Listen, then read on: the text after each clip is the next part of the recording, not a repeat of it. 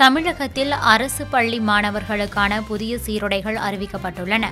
ஒன்பது பத்தாம் வகுப்பு மாணவர்களுக்கு சாம்பல் இளஞ்சிவப்பு நிறத்திலும் பதினொன்று மற்றும் பனிரெண்டாம் வகுப்பு மாணவர்களுக்கு கருநீளத்திலும் சீருடைகள் அறிமுகம் செய்யப்பட்டுள்ளன. தமிழக பள்ளி கல்வித்துறை அரசு பள்ளிகளின் கல்வித்தரம் மற்றும் மாணவர்களின் சீருடைகளை தனியார் பள்ளிகளுக்கு இணையாக மாற்றம் செய்து வருகிறது.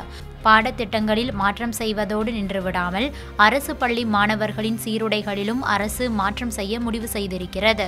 இதன்படி ஒன்பது மற்றும் பத்தாம் வகுப்பு மாணவர்கள் சாம்பல் நிறத்தில் முழுக்கால் சட்டையும் இளஞ்சிவப்பு நிறத்தில் கோடிட்ட மேல் சட்டையும் அணிய வேண்டும். மாணவிகளுக்கு கூடுதலாக சாம்பல் நிற மேல்கோட் அணிய வேண்டும் என அறிவுறுத்தப்பட்டுள்ளது. பதினொன்று மற்றும் பனிரெண்டாம் வகுப்பு மாணவர்களுக்கு கருநீல முழுக்கால் சட்டையும் கருநீல கோடிட்ட மேல் சட்டையும் அணிய வேண்டும். மாணவிகளுக்கு கூடுதலாக கருநீல கோடிட்ட மேல் கோட்டும் அணிய வேண்டும். மாணவர்கள் தங்கள் சொந்த செலவிலேயே இந்த புதிய சீருடைகளை வாங்கிக் கொள்ள வேண்டும் என பள்ளி கல்வித்துறை அறிவுறுத்தியுள்ளது. ஒன்றாம் வகுப்பு முதல் எட்டாம் வகுப்பு வரை மாணவர்களுக்கு இலவசமாக வழங்கப்படும் இலவச சீருடையில் எந்த மாற்றமும் இல்லை. புதிய சீருடைகள் குறித்த சுற்றறிக்கை அனைத்து மாவட்ட கல்வி அதிகாரிகளுக்கும் பள்ளிக் கல்வித்துறை இயக்குநரகத்தால் அனுப்பி வைக்கப்பட்டுள்ளது.